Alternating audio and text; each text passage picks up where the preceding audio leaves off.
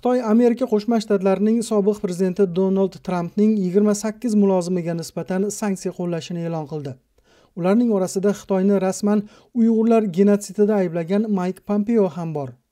Hali aqsh davlat kotibi maqomida ekan mayk pompeo inauguratsiya marosimi arafasida tvit yozgan.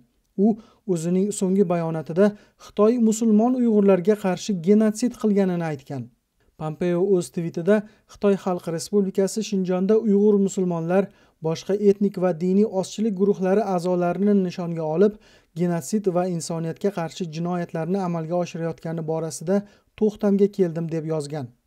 The guardian nashrining yozishicha xitoy sanksiyasi ostiga tushganlar orasida mayk pompeodan tashqari tramp ma'muriyatining savdo vaziri milliy xavfsizlik masalalari bo'yicha ikki maslahatchisi va aqsh elchisi ham bor.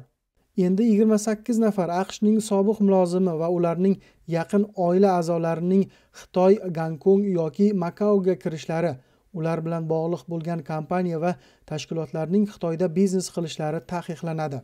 Xitoyning aqshga tegishli shaxslariga nisbatan sanksiya qo'llash qarori xitoy mustaqilligi xavfsizligi va rivojlanish manfaatlariga nisbatan noto'g'ri harakatlar qilgan odamlarga javob amalidir. Bu mutlaqo qonuniy va zaruriy qadam.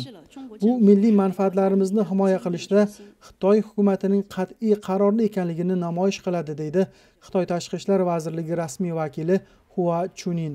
Xitoy hukumati o'z sanksiyalarini e'lon qilarkan yangi aqsh ma'muriyati bilan hamkorlik qilish istagida ekanini bayon qilgan.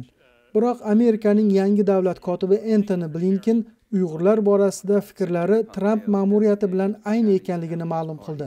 Blinken jurnalistlar bilan uchrashuvda pompeoning xitoy uyg'urlarga nisbatan genotsid qo'llayapti degan fikriga qo'shilishini aytdi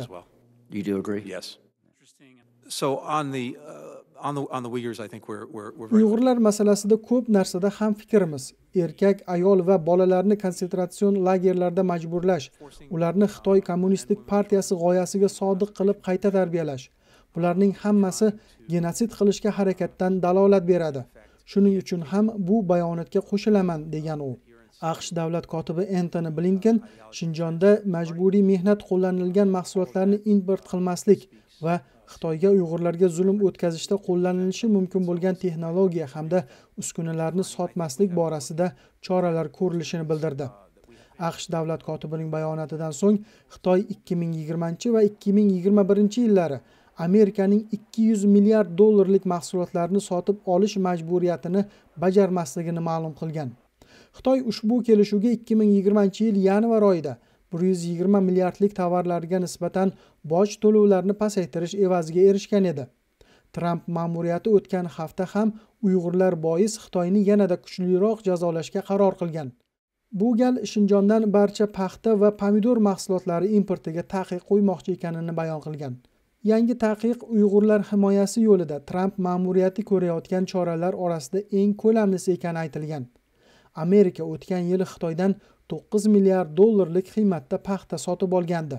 O'tgan yilning dekabr oyida shinjondagi qayta tarbiyalash markazlarida qolayotgan yuz minglab uyg'urlar majburiy ravishda paxta terimi va uni qayta ishlash sanoatiga jalb qilingani haqida hujjatlar oshkor bo'lgandi.